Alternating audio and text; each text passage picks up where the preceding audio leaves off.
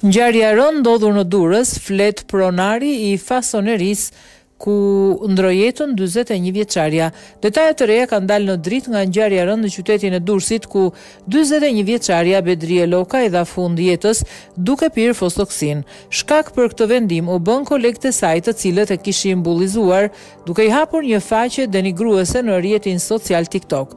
Mësohet se kolegët e dyzet e një vjeçares kanë qëndruar të distancuar duke thënë se nuk kanë të bëjnë me këtë ngjarje. Nga ana tjetër, pronari shtetas italian ka mbajtur të njëjtin qëndrim, ndërkohë më herët e ndjera ishte ankuar tek pronari i cili nuk kishte gjetur një zgjidhje. Kompania ku punonte dyzet e një vjeçarja prodhon litarë në zonën e Fllakës për tragetët.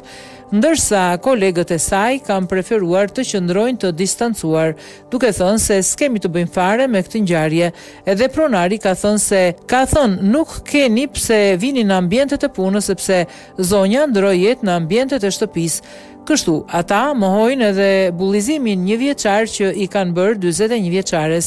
Në fakt, kanë qenë familjarët e saj të cilët e kanë ngritur si teori që ajo i ka dhënë fund jetës Lidhur me këtë çështje pasi e kanë shqetësuar shumë.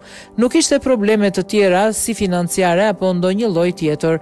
Ajo ishte nënë e tre djemve dhe një vajze, më i vogli dhjetë vjeç dhe më i madhi njëzet e një vjeç. Sa i përket adresës false, është edhe një foto e dyzet e një vjeçares dhe kolegët e komentonin, madje profili ishte denigrues, që nga emri, sigurisht edhe vetë kompania që ajo punonte e dinte për këtë rast. Ajo ishte ankuar edhe tek pronari i cili ishte shtetas italian, por nuk kishte marrë masa sepse nuk e dinte se kush e kishte hapur adresën.